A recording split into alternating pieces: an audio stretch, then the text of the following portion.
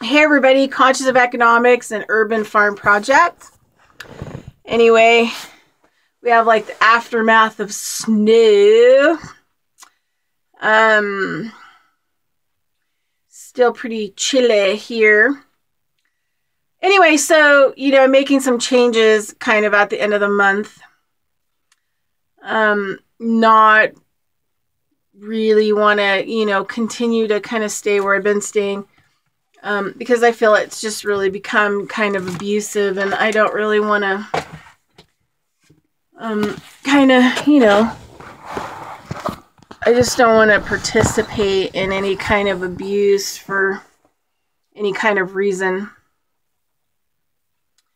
So, um, anyway, so I'm going to be um, getting things packed up and then not really sure um, where I'm going to be headed. So, really hoping things will kind of align and I can finally get the land and start um, doing, you know, my long term um, farming project. So, um, so it's kind of interesting, like sometimes how biological programming is and biological programming you know ends up having like several different kinds of functions applications you know downloads you know. You've got um you know biologically that you've developed. You've got how your brain works the hard drive. You have um the interaction right? Um just trying to think there's a better word for it. The um interface, you know, like how we're interfacing with this world, and all these kinds of other, you know, kind of things of how it all kind of works.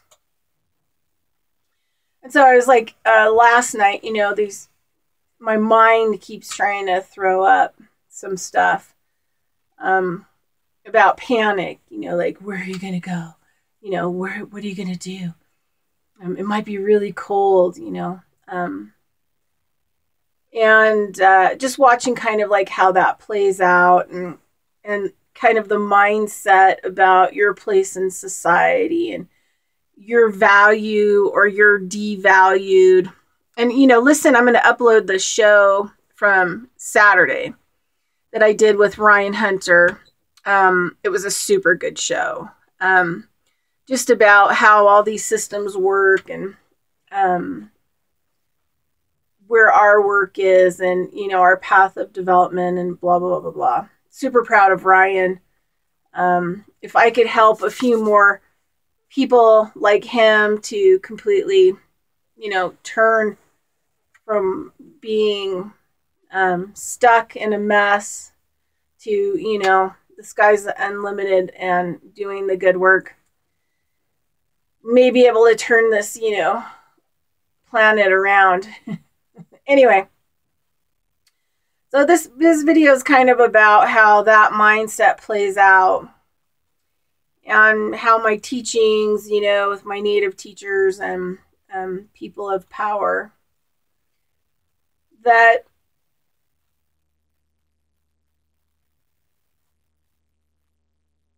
the fact that we have a belief system that living under the bridge and filth um, is different than living in a mansion with swimming pool and having a private chef. Are different. And they're not different. They're the same. They can be um, salvation or they can be prisons and um, and the component is you and your um, mindset about them. And I think it's interesting in our biological, you know, um, development, you know, destroy, conquer, consume, trample, fight with. Um, and that your your either you know value system or your devalue system um, is arranged. So one of the things i was thinking about this morning is like you know i keep having so i went to sleep last night had really good dreams. Woke up kind of was sluggish and then the mind wanted to start talking about um, you know, panic. Where are you going to go? What are you going to do? Um, blah, blah, blah, blah, blah. You know, um, maybe you should fix things with you and the landowner, you know, all this kind of crazy shit, which in a power, you know, related situation would cause um, more devaluation, right? Because there's like some kind of begging or, you know, forgiveness or know, victimization, you know what I mean, that has to take place on my part um, to deal with somebody whose mindset is strictly in the system. So it's not going to happen. And we've had like a lot of quite a few knockdown dragouts. Um, with him using, you know, all of he's been trained to, to, you know, corral, beat me, threaten me, um, abuse me, you know, into some kind of submission role that he sees me in as a devalued person um, in society. So I don't, you know, the funny thing is, like, I'm not really devalued, and I have to stay out of a mindset of my value and my devaluation and stay into like a neutral point. Um, that I'm a living being and you know and continue to be in balance and operating in my own power. Um, and operating in my own power is not you know manipulating and controlling other people defending myself trying to get them to see my way change. Um, standing in my own power is just assessing my journey and how i want to participate with that journey you know like at every given moment. And so i was thinking about like um, how you know my mind the foreign agent in my mind right that is the installed um, that's an installation you know it's a foreign agent doesn't even belong to me um, through mind control and everything else and how it's like trying to talk to me about that you know you're going to be living under a bridge and you go help those people, you know, uh, feed them and clothe them and stuff like that. And you kind of know how, um, you know, how they live and is that what you want and blah, blah, blah, blah, blah, and all these other things. And just trying to cause me a lot of heart stress today. And it's just interesting to watch, you know, how it like totally plays out. And for me, it's funny because at this point in my life, I look at, you know, living in some mansion with like a swimming pool and having nothing to do. Um, being, you know, like out of touch with the environment or the planet, kind of as a, you know, a separate type of assigned prison. And that, you know, the whole thing like, got to have fake hair, got to have, you know, fake boobs, fake butt.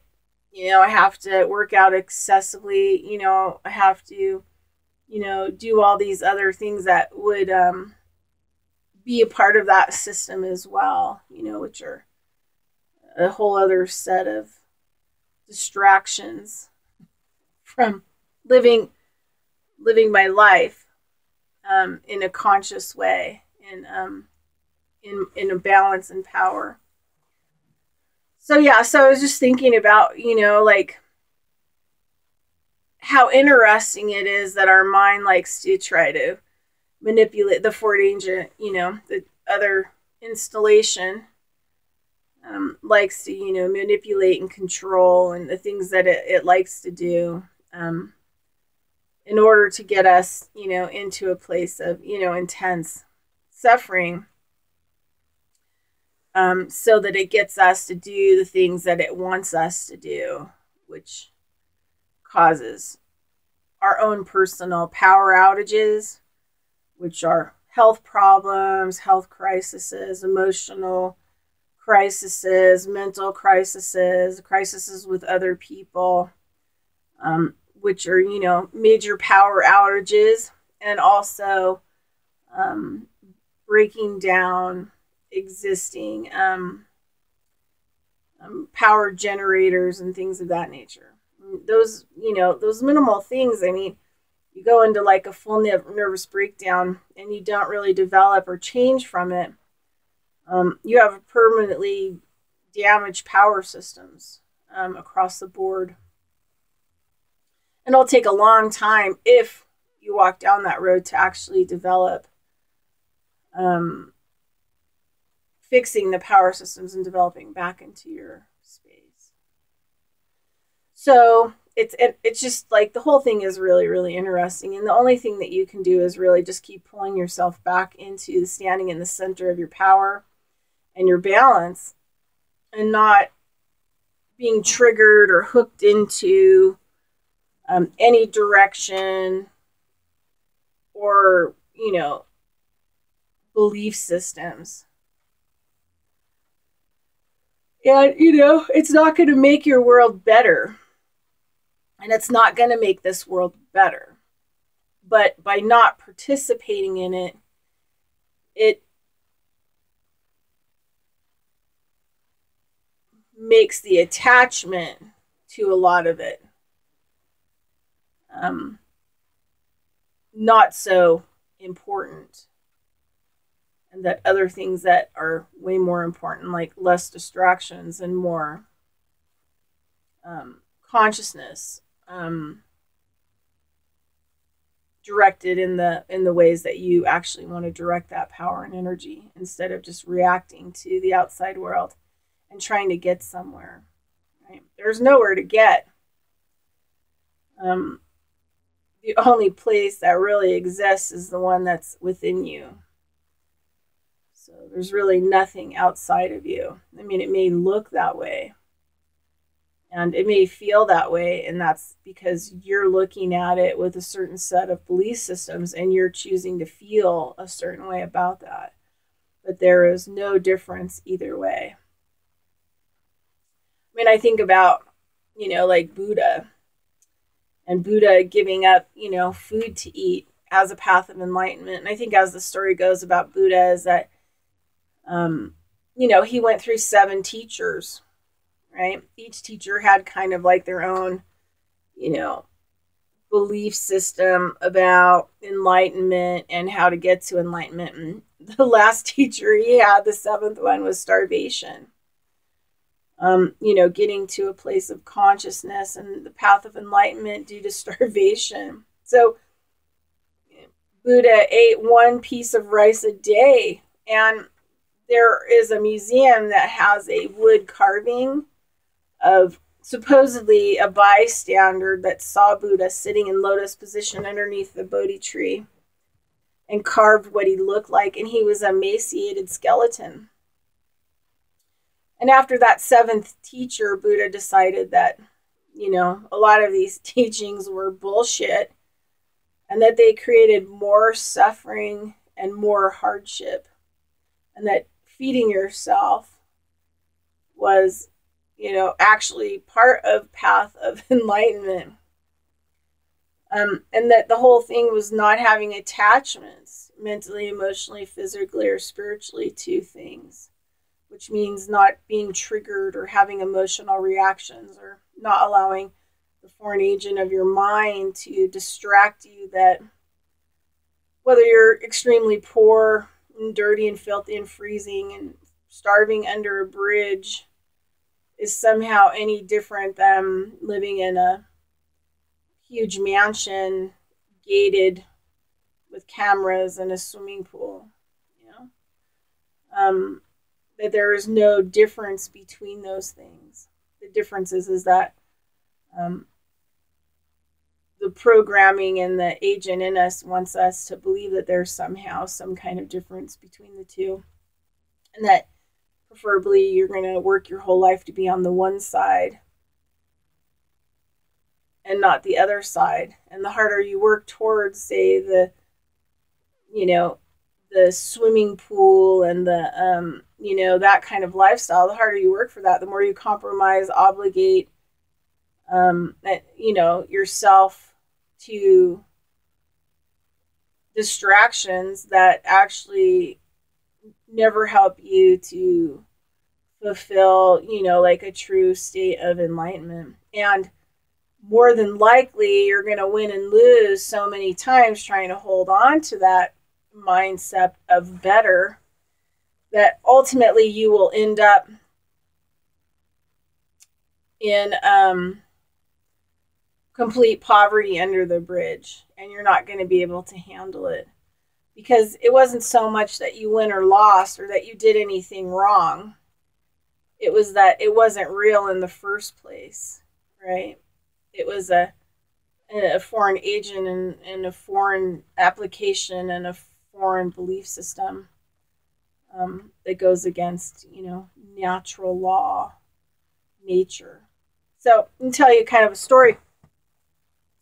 So a friend of mine, Larry, and Larry was a homeless guy that lived in this neighborhood, and I was building an, an urban farm in somebody's property in this older area of Sparks. It's also where I found my girl, where that whole rescue happened. But she had to rescue herself first. She jumped out of that yard and ran for her life when she was six months old.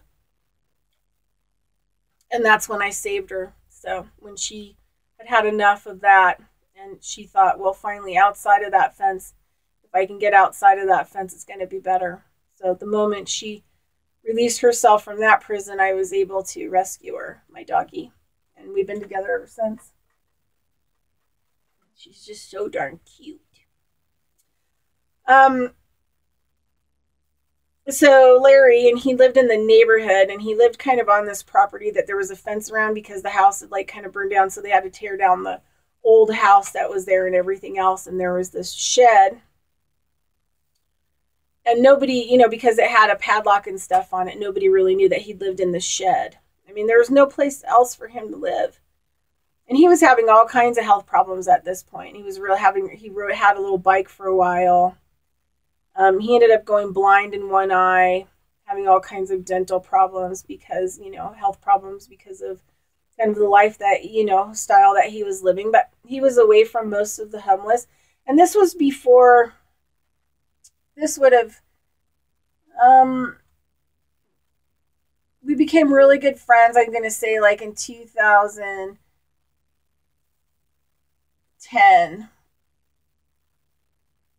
maybe somewhere in there maybe all this was ha- no this would have been yeah yeah, about that. Anyway, he had been homeless for a while.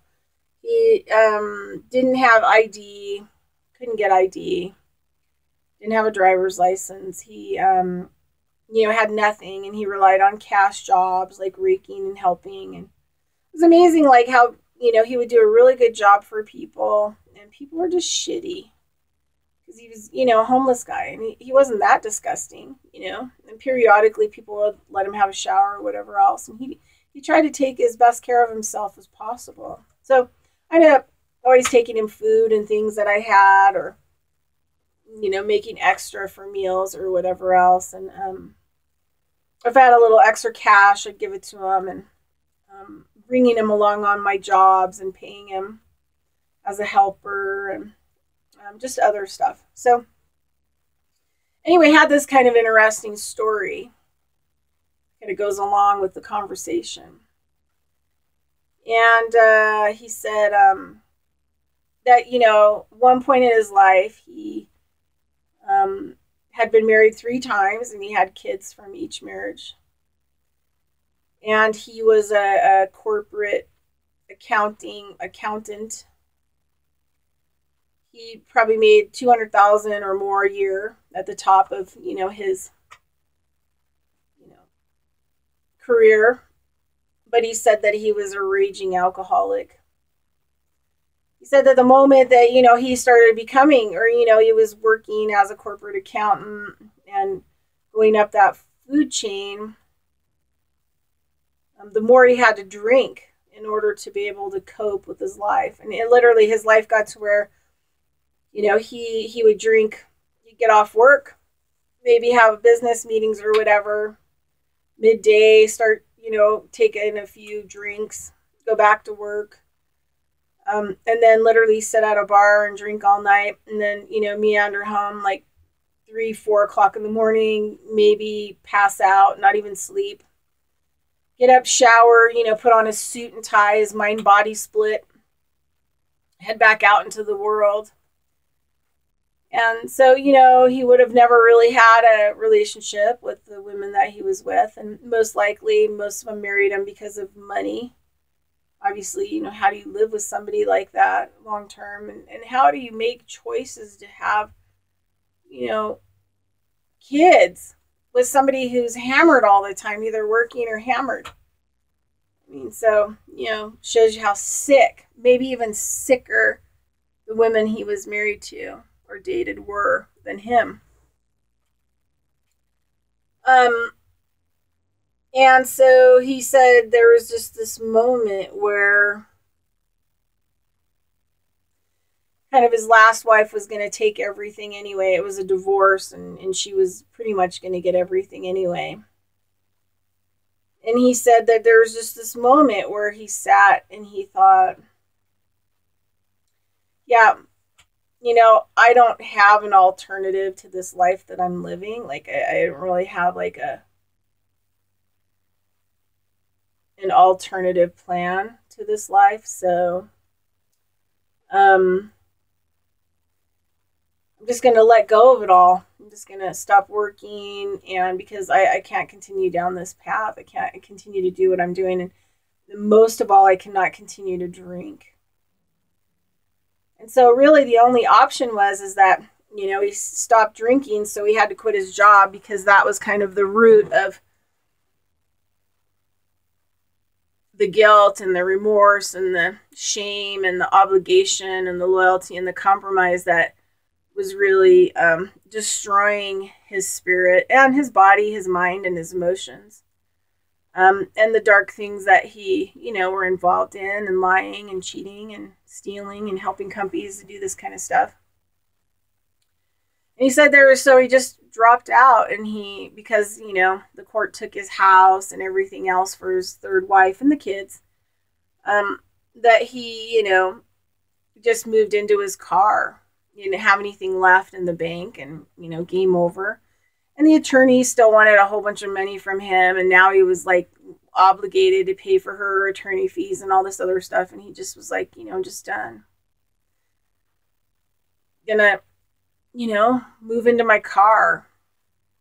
And so you know he moved into his car and kind of you know for several months just slept in his car and just tried to cope with everything that was going on. I mean he probably needed a huge amount of recovery time and sleep um, you know, to cope with what he's done to get to another side to decide what he was going to do.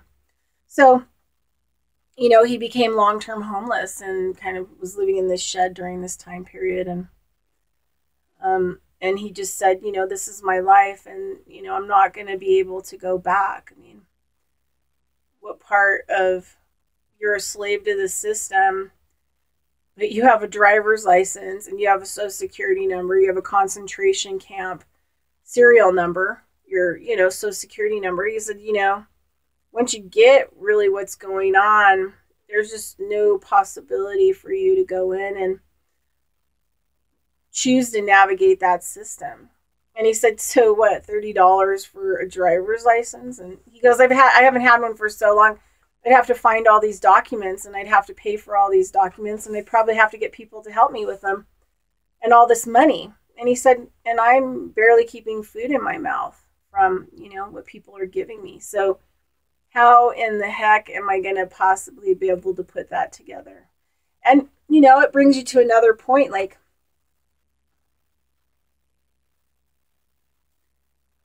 you know, he really was free suffering with a different kind of suffering, like dealing with the cold and the environment and um, health problems because, you know, he was a devalued being in the system. But he he was free. And he was free to think what he wanted to think and he was free to feel how he wanted to feel. and he was free to be how he wanted to be. And he wanted to be sober. So, living under a bridge, being filthy and starving, um, kept him sober, then who cares? Based on making $200,000 a year and being a raging alcoholic and destroying everything and everyone and yourself. Doesn't really seem like yeah, it's a choice, I guess. I mean, the other thing too is like, you know, there's only, you know, once you're homeless too, there's only so much more society is going to punish you. There's only so much that your family and friends will punish you. There's, I mean, because you lose contact with them. And so at least that whole um, abuse and devaluation and, and supportiveness, you know, ceases, which, you know, might be the most painful of all for people to endure. I know with veterans, it seems to be pretty, pretty painful. All right. So anyway, you know, um, just like you know, I was thinking about that mirror, you know, and it says on your side mirror, it says, um, what appears in mirror may be closer than it appears, which means like you can't even trust a mirror to appropriately um, reflect what's going on, you know, around you. You can't you can't really trust anything. Only you can decide and make that um, that determination.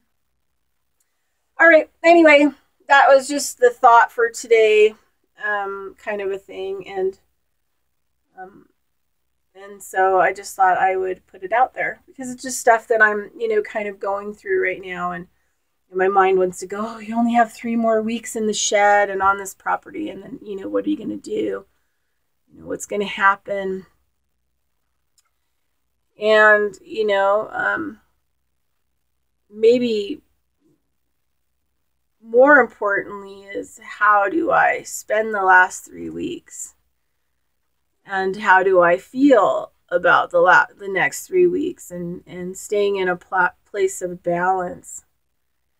um, and clarity um, and not responding to everything that's going on from the outside and being able to um, just be um, for me is way more significant and of importance than what and where and how and why and should, could, would, which are all words that reflect the past and their future and don't reflect the now and being in the now and in the moment. So, just wanted to put that out there in case there's some other people that are struggling. It's not even about letting go, it's not about forgiving. That's also the past and the future. It's just about being in balance in the center of your medicine, um, in the sacred power spot where you belong and not stepping out from that to rock your your medicine either way and make things, you know, much more complicated. And then you need more reactions and you need um, more solutions, you know. Um, so you keep triggering more and more and more. And the key is to just stop triggering. I mean, the outside world is always going to be triggered by you um, because of the foreign agent in their own mind, like the Matrix. But um, it's up to you to stop triggering more problems for yourself, more drama, more things to react to, um, more things to you know put out you know or or that kind of thing and just sit in the center. And i'm not saying you meditate all day um, or you completely check out. That's not what i'm talking about either. Um, because you know you can lose your power that way too because the seesaw becomes unstable. Left brain right brain left brain, right brain, left brain, right brain, internal world, external world. That's where you got to get off. You just got to get in the center and neutralize it all.